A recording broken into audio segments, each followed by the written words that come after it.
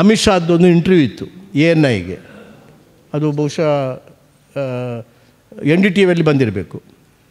ಅದರಲ್ಲಿ ಅವರು ಏನು ಹೇಳ್ತಾರೆ two thousand twenty ಫೋರ್ನಲ್ಲಿ no competitors for B J P ಅಂತೇಳಿ. ಆ ಸ್ಟೇಟ್ಮೆಂಟ್ ಏನಿದೆ, ಅದು ಒಂದು ರೀತಿಯ ಮೊಂಡು ಸ್ಟೇಟ್ಮೆಂಟು ಅಹಂಕಾರದ statement it indicates the dictatorial attitude of the B J P that means they have reach that pinnacle of a dictatorial attitude ಅದು down ಆಗಲೇಬೇಕು. It has to come down ಅದು ಖಂಡಿತವಾಗಿ ಕೆಳಗೆ ಬರ್ತದೆ, ಅದಕ್ಕೆ ಅನುಮಾನ ಇಲ್ಲ.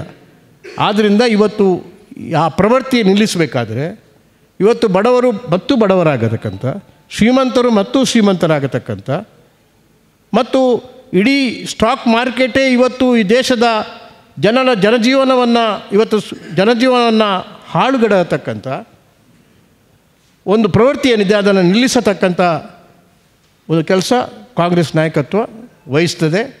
ಆದ್ದರಿಂದ ಎರಡು ಸಾವಿರದ ಇಪ್ಪತ್ನಾಲ್ಕರಲ್ಲಿ ಅಮಿತ್ ಶಾ ಅಥವಾ ಮೋದಿ ದುರಹಂಕಾರದಿಂದ ಬೀಗಬಹುದು. ಆ ದುರಹಂಕಾರದ ಹಂತಕ್ಕೆ ಬಂದಂಥ ಬಿ ಜೆ ಪಿಯೇ ಡೌನ್ಫಾಲ್ ಪ್ರಾರಂಭ ಆಯಿತು ಅಂತೇಳಿ ಲೆಕ್ಕ. ಆದ್ದರಿಂದ two thousand twenty ಫೋರ್ನಲ್ಲಿ if the Congress comes back for power I don't think people need to be surprised or shock